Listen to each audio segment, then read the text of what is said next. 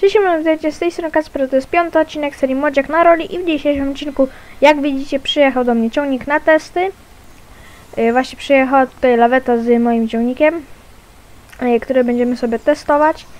Yy, dziękuję firmie oczywiście Massey Ferguson oraz Unia za udostępnienie mi tych oto maszyn na testy i dzisiaj sobie jedziemy właśnie w pole, zobaczymy jak one sobie będą działać.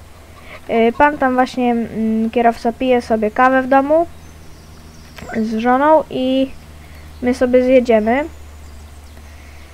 Yy, Więc co, zobaczymy. Tutaj też kluczyki jak widzicie są. Yy, Więc co, zobaczymy jak on będzie działał. Zostawcie łapkę w górę, subskrypcję wraz z dzwoneczkiem. Yy, I dobijmy tu 10 łapek, a będzie kolejny odcinek z tej oto serii. Dobra, więc odpalamy sobie. Okej, dobra, odpalił. Podnieśmy sobie. Yy. Przedni obciążnik też. I teraz musimy jakoś powolutku sobie zjechać. Tylko ja sobie zmniejszę prędkość. I taka sobie. O. No powiem wam fajny. Fajnie się prezentuje, fajnie wygląda. I jest też taka opcja, że słuchajcie. Na razie mamy właśnie te 60 tysięcy. Jest też taka opcja, że może ten ciągnik nawet zakupimy, e, jeśli będziemy mieli oczywiście fundusze, ale to na pewno nie w tym odcinku, bo dzisiaj będziemy sobie to testować. Dobra, postawimy sobie obok Maseja. Zobaczymy jak on wygląda. On ma chyba 112 koni, z czego podajże. Jak dobrze myślę, ten ma mój 105 i, i ma właśnie troszeczkę mniej mocy. Światło, jak widzicie, wszystko działa. Więc spoko. No i co, jedziemy sobie na te pole, tędy sobie jedziemy. y, Bo jedziemy sobie na na ściernisko. Y, Tutaj mamy właśnie, a tutaj też jak widzicie mam y, kiszonkę. Nie pokazywałam wam tego, bo poza odcinkiem to sobie robiłem. Mm, O, tutaj też talerzówką jechałem, ale się zakopałam, wtedy było mokro. I dobra, teraz musimy zobaczyć jak to tutaj wszystko działa. E, dobra, cyk tutaj, opuszczamy. Opuściło się i gaz. Uhuhu, jak to idzie, powiem wam. Ale to bezproblemowo idzie. Gdzie? To problemu nawet, słuchajcie, nie ma. No, fajnie powiem to działa, fajnie, fajnie.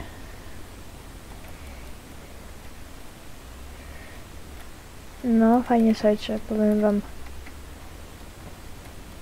Jeszcze tutaj wiecie, to amortyzowane. Też fajnie. To wszystko chodzi. Bardziej właśnie bym, jeśli chodzi o zakup z tych dwóch maszyn, wolałbym y, kultywator, bo jednak ciągnik to taki troszeczkę y, przy, mm, przyszłościowy pomysł. Więc nie wiem, czy ciągnik, jeszcze tam się namyślimy, wiadomo, zobaczymy, y, czy nie będzie trzeba brać też kredytu. Y, Więc wiadomo, zobaczymy. A jeśli będzie trzeba, no to nie wiem, może weźmiemy kredyt, zobaczymy. Jak na razie wam wszystko pięknie, ładnie chodzi. Dobra, teraz tędy. No powiem wam, takim sprzętem to już fajnie by się robiło. I ten ciągnik, który też właśnie bezproblemowo sobie ciągnie. Mówię też kultywator, no to fajnie się tak robi. Nie wiem, czy mój y, Masej też by sobie tak poradził z tym kultywatorem. Nie będziemy już dzisiaj testować, bo wiadomo, trzeba odczepiać. Y, A to też troszeczkę zajmie. O kurczę, muszę tempo zwiększyć. Napęd na 4, jak widzicie, no jest.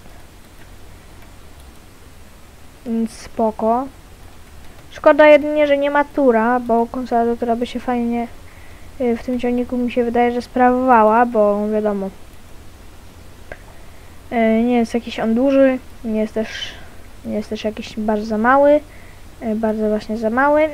No więc fajny, taki powiem idealny. Też fajnie, fajnie brzmi. Widać, że też 3-metrowy kultywator też robi robotę. Y, bo jednak wiadomo. y, Nie to co moim y, też 2,5 metrowym kultywatorem i też talerzówką, wiadomo, ciężko czasami, a tak oto widzę, że tutaj klasa sama w sobie. Więc fajnie to wszystko chodzi. Od środka też fajnie, fajnie wygląda, powiem wam. Wyposażenie. Bardzo fajne. Cockpit też fajnie właśnie tu wygląda, ta deska rozdzielcza. Y, Mocy on ma chyba właśnie te, jak już mówiłem, 112 koni, czyli z tym kultywatorem yy, sobie spokojnie poradzi. Jeszcze będzie miał nawet zapas mocy, bo ten kultywator jest chyba do 100 coś. Bo on jest 3 metrowy i troszeczkę wiadomo ciężki. Yy, ale fajnie, wszystko tutaj jak widzicie na talerze są. Obciążnik też 2,5 tonowy. A tu był, było gdzieś tu napisane, że 2,5 tonowy. Jeszcze przed nagrywaniem odcinka sobie przeczytałem. Jak widzicie, wszystko jest amortyzowane. Jak mi się jakiś kamień trafi, to, to nie będę go ciągnął, tylko on po prostu, po prostu oskakuje. O, widzicie? Tak lata. Więc fajnie.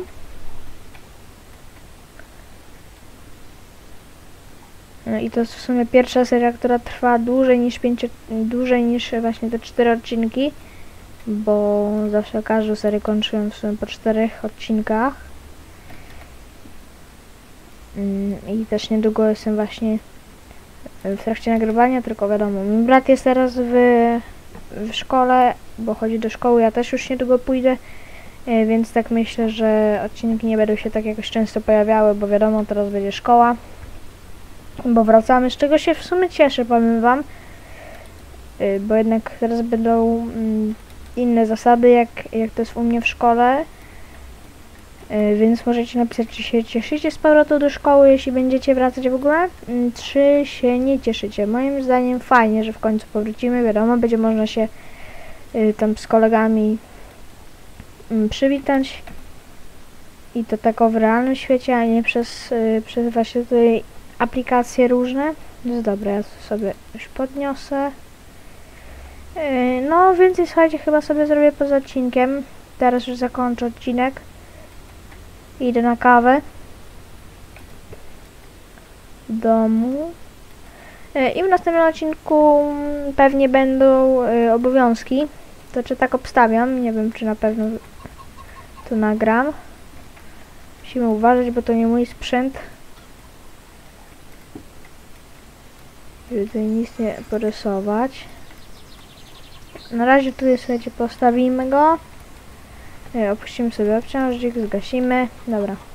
E, no więc to by było chyba na tyle w tym odcinku. E, dzięki za oglądanie. Mam nadzieję, że Wam się spodobał. Zostawcie 10 łapek w górę i będzie kolejny odcinek. No i co? Widzimy się w kolejnym odcinku. Cześć!